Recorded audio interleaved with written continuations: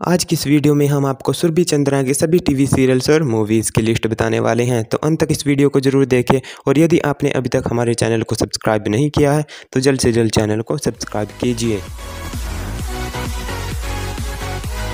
सुरभि चंदना ने सबसे पहले तारक मेहता का उल्टा चश्मा में स्वीटी का रोल किया था। इसमें ये सिर्फ़ तीन एपिसोड्स में नज़र आई थी। इसके बाद ये एक ननद की खुशियों की चाबी मेरी भाभी में सुजैन का किरदार करती नज़र आई। कबूल है में इन्होंने हया कुरैशी की भूमिका अदा की। हॉरर शो आहट में इन्होंने सिया का एपिसोडिक रोल किया। इश्कबाज सीरियल में यह अनिका ओबराय के किरदार में नज़र आई। दिल बोले ओबराई में भी इन्होंने अनिका ओबराय का किरदार किया।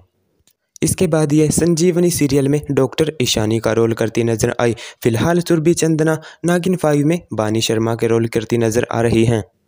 अगर बात करें सुरभि चंद्रा की मूवीज़ के बारे में तो इन्होंने सिर्फ़ एक मूवी की। इन्होंने बॉबी जासूस में आमना खान का रोल किया था। तो ये थे सुरभि चंद्रा के सभी टीवी सीरियल्स और मूवीज़ की लिस्ट अगर कोई नाम रह गया है तो हमें कमेंट बॉक्स में ज़रूर बताएँ। इस वीडियो को लाइक कीजिए और चैनल को सब्सक्राइब कीजिए।